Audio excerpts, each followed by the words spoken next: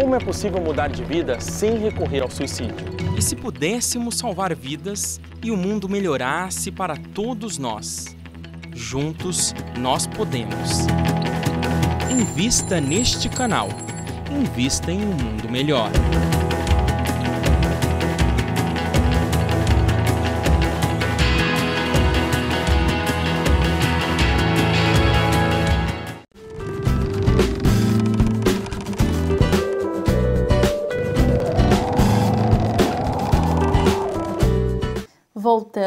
Com o último bloco do Espírito de Mulher.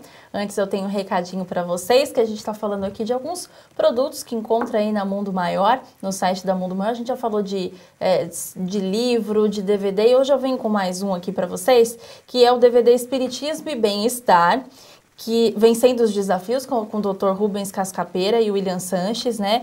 É a série de, de espiritismo que traz palestras que nos ajudam a encarar a vida com mais leveza e responsabilidade, né? O Dr. Rubens Cascapeira fala sobre o funcionamento do organismo feminino e suas fases, dá várias dicas para a saúde e o bem-estar das mulheres, tudo sob a ótica do Espiritismo. Já o querido do William Sanches fala sobre Jesus e a arte de vencer desafios, revelando um mestre mais próximo de nós, né? Você sabe que Jesus ensina a gente a superar todos os nossos desafios, né?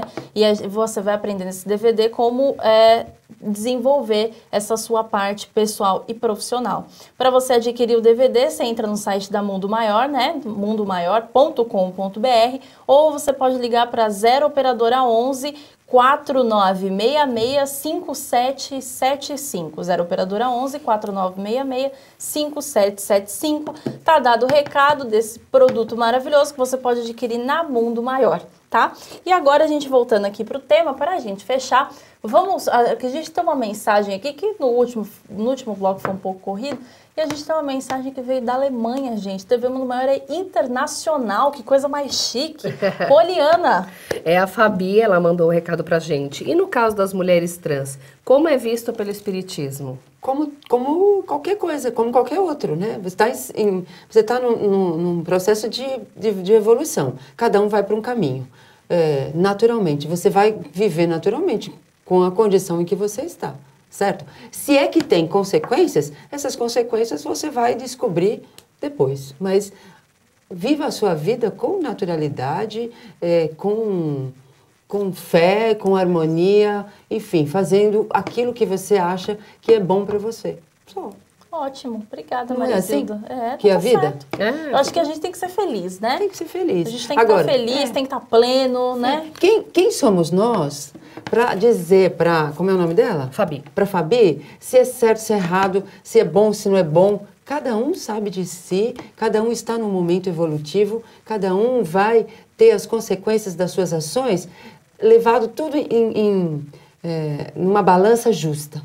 Então, não se preocupe, viva a sua vida. Viva, o importante é ser feliz. Né? Exatamente. Tem mais WhatsApp? Tem, olha só, a Dorinha do Rio Grande do Norte, ela diz, meu nome é Dorinha, ela é lá de Mossoró, ela diz, nossa mãe jamais falou de sexo conosco, e quando me casei aos 24 anos, na primeira noite menstruei de medo. nossa, isso foi tão ruim para mim, porque passei sete anos em um casamento de, é, desastroso. É, amo assistir vocês, paz e, bem, e beijos pra gente. Pois é. Como... Tem que conhecer o cegonho antes, né? É, não, é, não é assim. Eu acho que, na verdade, é bem. A gente volta lá para o Evangelho. Conhecereis a verdade, a verdade vos libertará. Isso é Jesus dizia. É, e isso não é, não é só na, na nossa vida cotidiana, é em tudo, é tudo. É, não é só no aprendizado, no sexo, no relacionamento. Se você não tiver o mínimo de conhecimento, como é que você vai viver? Pois é. Verdade. Você chega perdido, né? E aí você pode colocar por água abaixo tudo aquilo que você sonhou, pois que é. você estava afim de construir, porque, olha, isso é muito importante. Né? Bem que amor é legal, companheirismo, mas vamos ser sinceros, sexo é também muito importante para uma relação, também. porque isso faz parte da saúde da gente, do nosso corpo. Se isso não vai bem, não funciona legal, é uma coisa que te decepciona, que te assusta, que não, não te satisfaz, gente, vai desandar tudo. Tô errada, gente? Tá certo. E outra coisa, acho que é interessante também é, comentar. Cada um tem um, um, jeito, cada um se satisfaz de, de um jeito. Forma. Então, ah, porque a minha, a minha amiga faz mais sexo do que eu, Mas ela faz mais porque ela precisa, porque ela quer, porque ela gosta. Você faz menos porque você precisa de menos, você gosta de Tem menos. gente que precisa de quantidade e outra que precisa de de, qualidade. qualidade. Pronto. Acabou. Não podemos medir, né? Nós não podemos medir a nossa felicidade pela felicidade dos outro. outros, exatamente. Não é, Vânia? Exatamente. É isso aí. Essa coisa de não poder fazer? Como é isso, né? Não, não já tô, tô ficando constrangida. Não me olha assim. É porque você é jovem. Você me eu- desconcerta, olhou pra mim, eu? O que, que tem eu? Eu não fiz Não. nada. Pra, só, Gente, pra, dá até só, o calor agora em mim. só, pra, só pra dizer que é assim a vida. é Eu acho assim. que eu tô da cor da blusa da, da Marisilda Não, não, agora, não, não, olha, não tá muito rosadinha, Tá não. bom. Um Ah, tá bom. Daqui a pouco eu camuflo com a cadeira aqui, ó, é vermelha. A gente estava falando no outro bloco sobre menopausa, até que eu falei, vamos esperar, porque agora é a hora da gente falar esse negócio Certo. da menopausa, que você estava falando dessa questão de perder a vontade, né? É. Isso. Vamos voltar a falar sobre menopausa? Vocês acham que é a fase mesmo que a mulher fica. Ou é o contrário? Tem Não, mulher que não. vai com tudo, que é a hora que dá o fogo nela. Pois é, eu acho que tem as duas coisas, né? Tem as mulheres, porque a menopausa é diferente para cada pessoa. Né? Tem pessoa que tem calorão, tem pessoa que tem hemorragia, tem pessoa que tem depressão, tem pessoa que, que acende mais, tem pessoa que apaga um pouquinho. É. Então, Depende é, muito, depende né? de cada um, né? Então a gente não pode dizer, ah, ah na menopausa eu, eu diminuí o meu, a minha, a minha libido, eu faço menos sexo, mas faço. A outra, não, eu aumentei. Pô, tudo certo. Eu acho que são Tá alguns momentos, certo, entendeu? é. Por exemplo, a mulher depois da maternidade, isso também é comprovado, Isso. que depois da maternidade, ela, é, nos primeiros meses é, do bebê, ela acaba perdendo um pouco a libido também, porque a atenção dela está voltada para outra coisa. A energia está voltada para Exatamente, tá- tá- a energia está voltada para o bebê e não para o marido. Então, por um período, pelo menos uns seis meses ali, aí especialistas dizem que as mulheres elas também perdem a libido. E como é que a gente pode lidar com isso, gente, nesse momento? Pode ser nessa questão que você falou da maternidade, pode ser a questão da menopausa. Como é que lida quando falta vontade, quando falta libido? Diálogo. Diálogo, sinceridade, né? E tem, assim, você consegue é, encontrar é, artimanhas, né? Ou é, Meios, meios, né? Meios, meios. de você mudar um pouco isso, né? Muda o, muda o, o, o dia, muda o lugar, é, o marido ajuda, enfim, tudo, ou parceiro, né? A gente fala marido, mas o parceiro. Então, o parceiro tem que ser colaborador nessa hora, ele tem que Sim, compreender né, que isso faz parte também da vida, faz parte da, da característica feminina. Então, Isilda, Da mesma certo. forma que a mulher também tem que atender o parceiro quando ele começa a entrar na andropausa, Isso, né? isso. Porque assim, quando o homem também começa, é, apesar dele ter vontade, é, ele não consegue.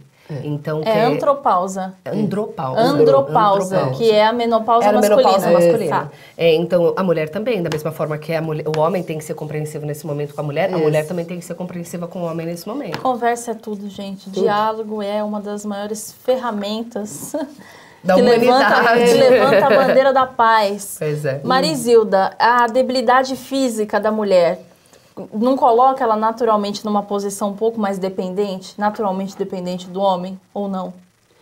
sim e não, né? Sim e não. Porque é, o que, que é dependência, na verdade? Dependência, eu, eu dependo do meu marido, dependo do meu marido na questão financeira. Porque ele trabalha, recebe, eu não sou voluntária, certo? Agora, em outras coisas, eu não, eu não, eu não dependo dele. E, na- e, ao mesmo tempo, eu não me sinto dependente dele, eu me sinto eh, unida a ele. Então, não, não existe isso. Companheira dele. Companheira. Companheirismo. Então, a- a- o homem que aproveita a debilidade física de uma mulher para deixá-la submissa a ele, ele está tá equivocado. Maravilha.